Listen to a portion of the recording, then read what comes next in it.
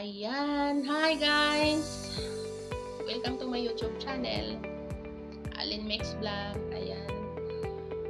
Gusto ko pong mag-present ng uh, Bisaya sa ano Bisaya version sa sa ating business, sa ating ano sa ating Orbis Victos International. Ayan kay na ay nag-request nga gusto daw nila nga mag, na ay presentation nga Bisaya. Kaya ako ning buhaton kay na may dili kasabot sa amo ang banda sa bukid nga dili kayo makasabot og Tagalog. Kaya maghimo kog video nga para sa inyo. Mga kaya Hi guys! Para sa akong pamilya diyan sa akong pamilya din ha sa San Fernando Malantaw. Ayan. Agong ko'y pamilya Bertudaso family Ayan, shout out po sa inyo sa Crossing Mapulo, sa akong pamilya din ha, mga ako po'y pamilya, labi sa inyong kapitan din ha, nga puutan, ayan, shout out po sa inyong tanan din ha, shout out po sa inyong tanan, mga Bertudas pamilya, ayan, thank you, thank you, thank you, thank you, thank you, ayan, shout out po sa inyong tanan. O, karon gusto kong ipa-ila sa inyo ang Orbis Victus International. Orbis Victus International ay usa ka company nga nag-offer sa ato uh, insurance. Insurance related lang po sa related lang ta sa aksidente aksidente para pang aksidente nga insurance. Okay? Ang atong product ang una natong product ang Platinum Cell Pro ang ang Platinum Cell Pro kantidad ana is 4,500. Ang sulod sa Platinum Cell ay 1 million. Ang 1 million, simba ko og mahitabo na disgrasya, ang 1 million makuha sa beneficiary, makuha sa imong pamilya. Ang 1 million pod kung pananglitan na disgrasya unya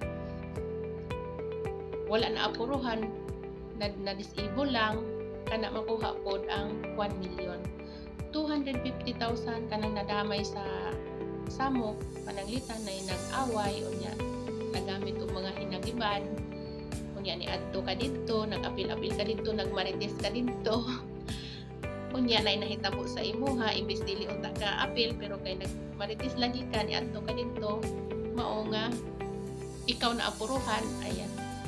Makuha sa imong beneficiary ang 250,000 ang 200 ang 200,000 pananglitan og na aksidente unya na ospital ka nagpa-check up ka sa ospital yan nakagasto ka dito na kay ibayaran pananglitan nag nagpa x-ray or naunsa na balian basta kay kung pila ang imong nagasto dito kuhaon na tanan ng imong mga resita mga resibo atong ipadala sa company ibalik na nila kung pila ang imong nagasto ihatag sa company, i-refund nila.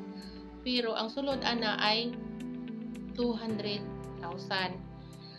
Ang pananglitan pod og na ospital ka unya na disgrasya na ospital nya na ka sa ospital pila ka adlaw bayaran ka sa company og tag 2,000 ang adlaw. So 2,000 ang adlaw ang sulod sa pulo ka adlaw pananglitan nadugayan ka naabot ka og pulo ka adlaw. Bayaran ka sa kumpanya ana og 2,000 ang adlaw bali pang kuan pang pangpalit sa imuhang kanang bayad nimo sa imong inadlaw nga panalitan na katrabaho nga wala na ka nakatrabaho kay na sa ospital na ospital ka admit ka. Bayaran ka sa company og 2,000 ang adlaw. Unya ang burial assistance bisag unsa nga klase nga pagkamatay namatay sa sakit namatay sa aksidente basta tanan nga klase nga ano dili lang kay sa aksidente lang basta kay kung namatay sa sakit makuha sa pamilya ang 50,000 kung naapod tayo isa ka product nga bronze ang kantidad sa bronze is 3,000 so ang sulod aning bronze ay 500,000 kung unsa ang sulod sa platinum ang sulod sa platinum 1 million ang sulod po sa bronze is 500,000 naa dito tanan kung unsay sulod sa platinum naa po dito tanan sa bronze ug naa po tay Repat Care para sa mga OFW. Ang Repat Care, ang sulod ana is 1.2 million. Ang kantidad ana is 5,500. So, para lang na sa mga OFW, pananglitan og na mahitabo dinhi sa laing nasod nga dili maayo pa ipauli ang lawas sa Pilipinas ang mo gasto gasto na sa company. Ang ang sulod ana nga ang ang sulod ana is 1.2 million minimum ana. Ang company na magpauli ang company na magasto tanan wala tay makuha ana nga cash guys. Kung dili kana lang yun ang buhaton sa sa company nga ipauli ang patayng lawas sa Pilipinas hangtod sa pag-abot sa balay kung naapod tayo Platinum ER, ang Platinum ER para lang po sa mga taga-Pilipinas. Ang Platinum ER, hindi na ako memorize kung pilay kantidad sa Platinum ER. Ang Platinum ER, nagkantidad o Platinum ER, nagkantidad o 6,800.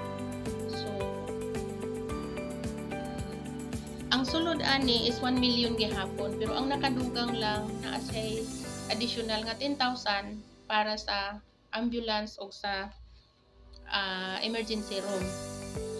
O napuntay bronze ER. Ang bronze is ang bronze ER is 5,800. Ang bronze ER 500,000 kung unsay sulod sa platinum ER mao ko'y sulod sa bronze ER. So ang 10,000 nga additional mao gihapon sa ER is 10,000 ang additional gihapon para sa ambulance o para sa ah, para sa emergency room. Okay guys, o mao ni ang atong mga product nga kung gusto lang nimo nga mapa-insure, magpili lang ka kung ang gusto asa imong gusto ani nga kani siya insured na ka sa isa ka tuig. Yearly po na yearly na to ni nga i-renew. Kung gusto nimo nga i-renew or gusto nimo nga dili na i-renew, kung nagunaw na ka nga di pa ko di pa madisgrasya. So, ayaw i-renew. Pero guys, wala ta kahibalo, wala ta kabalo sa atong kinabuhi, kung ano sa mahitabo, kung ano sa madisgrasya, kung ano sa ata mamatay, sa taon na ingon nga, sa ingon ta ay dili ko dili pa ko mamatay pero sa unsa akong ginato nga ay di pa ko gusto nga mamatay pero kaya magid ta paingon tanan di ba? Kaya dako kayong tabang nahunaon lang nimo ang, ang 4,500 insured ng imuhang isa ka tuig kay kung maingon ka nga itigom nimo ang imuhang 4,500 unsa ra may imong mapalitan na si Pako kung naay mahitabo emergency di ba? Pila ra may unsa ra may imong mapalit sa 4,500 so kung maingon po ka nga magtigom ka og 1 million para pang emergency balo man gid nga di nato na mahimo di ba? Mao nga dako na kayong tabang dako kayong tabang ni nga company nga ilahang gi-offer sa ato ang ingon ani nga kuan ingon ani nga insurance. Daghan dako kayo ni tabang sa atong kinabuhi. Nga dili kayo ta maglisod dili maglisod ang atong pamilya kung mako may tapos sa ato ah, at least naay naay ma kuan ang atong pamilya naay mabili nato sa atong pamilya gamay di ba? Dako na kayo nga tabang ni nga bako manis na siya. Dili man nato mabalan gyud ang disgrasya sa tanang wa kita kabalo wala ta kabalo sa tanan nga pangitabo sa atong kinabuhi di ba? Dako kayo nga tabang o kani siya related lang gyud ta sa accident insurance. So yearly po yearly nato ni nga i-renew. Kung gusto nimo nga yearly nga i-renew. Kani siya nga mga product mao ni ang kanang insured lang gyud ka. Kung naapuntay product nga aw naapuntay package nga pwede ka mo income pwede nimo trabahoon Ah, insured na ka pwede pa nimo pag pwede pa ka mo kita basta trabahoon lang gyud nato kay di man pwede nga mo palit lang kami. Nga ay mo palit ko ani nga package kay aron na ako income niya. Wala nimo gitrabaho so wala ka income. Yun na naman ang uban di ba? Mingon nga nagpalit man ko ana nga package pero wala man ko ni income unsa nimo pagka-income wala nimo gi trabaho tanan nga investment kung gusto nimo nga mukita kinahanglan gyud nga trabaho na. To kung gusto nimo nga mag-agent gusto nimo nga mukita kinahanglan nga mag-focus gyud ka nga mag-training kung unsaon unsaon nimo nga makaparta ka mas okay gyud nga mukita ta. Kay aron naatay pang renew pa. Sunod tuig nga mag-renew ta sa ato ang insurance. Kay aron permitin nato ma-renew ang atong insurance nga dili na ta makuha sa ato ang sarili nga kanang sa atong kita. Di ka ta makuha sa atong kita para i-renew nato. Mao nga maning kamo ta nga. Mo income pud ta. Mao ni natay mga packages na pwede na to mo ipaliton. Kung insured na ka bali natay package nga pang duha ka tawo kana automatic na ka mahimong agent pwede na ka mag-agent. So sa next video na ko guys akong explain ito kung unsa ang mga package nga pwede ka mo kita pwede ka mo abel pwede ka mo palit pwede nga ka nga package imong bayaran. Kung automatic na dahil ka mahimong agent kung pwede na ka mo kita. Basta lang yun nga focus lang yun ta guys. Kung gusto nimo nga gusto nimo nga mo income kinahanglan lang gyud nga focus lang gyud nga moabil ka og training kung unsay gisulti sa imong mga upline kung unsay ilahang gisulti nga mo na imong himuon kinahanglan nga imo lang hinahinayon gid imo nga makatunan kung unsay ilahang itudlo sa imo. So daghan kayong salamat guys. Daghan daghan daghan kayong salamat sa inyong pagsuporta sa akong channel, labi na sa akong pamilya. Ayan daghan kayong salamat. Shout out sa inyo lahat. Ayan, thank you guys. God bless.